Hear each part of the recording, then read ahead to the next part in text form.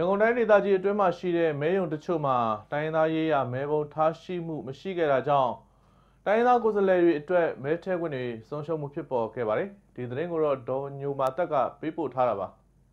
2015ထွေထွေရွေးကောက်ပွဲကျင်းပနေတဲ့အချိန်တချို့မဲယုံတွေမှာပုံမှန်ထားရှိရမယ်တိုင်းရင်းသားရေးရမဲပုံထားရှိမှုမရှိခဲ့တာမို့မဲထည့်ဖို့အခက်အခဲဖြစ်ခဲ့ကြရတာပါ ရန်ကုန်တိုင်းဒေသကြီးအရှိပိုင်းခရိုင်မှာရခိုင်တိုင်းရင်းသားဝင်ကြီးကရင်တိုင်းရင်းသားဝင်ကြီးစတဲ့မဲပုံနှစ်ပုံကိုမဲယုံတိုင်းထားရှိရမှာဖြစ်ပေမဲ့မဲပုံပျောက်ဆုံးမှုတွေမဲပုံမထားရှိမှုတွေကြောင့်တိုင်းရင်းသားမဲတွေဆုံးရှုံးမှုဖြစ်ပေါ်ခဲ့တယ်လို့သိရပါတယ်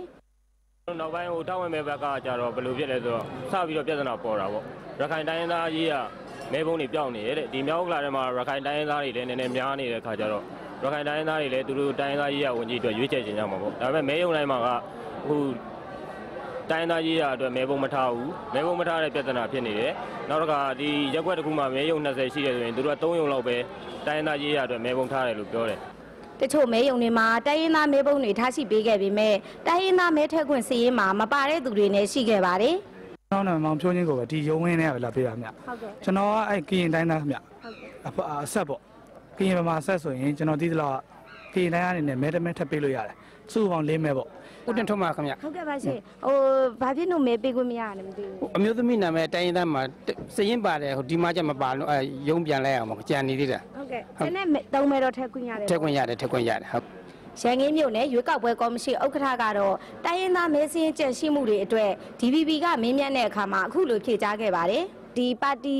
သုံးမဲအပြင်ပေါ့နော်အဲဟိုတိုင်းရင်းသားမဲနှစ်မဲရှိတယ်လို့သိရပါတယ်တချို့ရခိုင်တိုင်းရင်းသားနဲ့ကရင်တိုင်းရင်းသားတွေပေါ့နော်အဲ့ဒီဟာတွေဆိုလို့ရှိရင်မဲထက်ခွင့်ဟိုမရဘူးလို့လည်းသိရပါတယ်အဲ့ဒါနဲ့ပတ်သက်ပြီးရှင်းပြအဲ့ဒါကတော့ဒီဟာနဲ့သမီးရဲ့အဲ့ဒါတစ်ခုတစ်ခုလဲစည်ရင်ပြန်လာလေးလည်းရှိတာဗောအဲ့ဒါလေးအကုန်လုံးအစီအစားလှုပ်လှုပ်တာပဲအဲ့ဒါလေးချုံးမို့ကျွန်တော်တော့ခွင့်လုပ်ပေးပါအားလို့နော်ဟုတ်ကဲ့ပါကျွန်တော်လည်းလောက်ကလှုပ်လှုပ်လှုပ်နေတာပဲဘယ်သူမှမကြံစေချင်ပါဘူးဟုတ်ကဲ့ပါအဲ့လိုဖြစ်တော့ကျွန်တော်လည်းစိတ်ညစ်ရတာဗောဟုတ်ကဲ့ပါရှင်နော်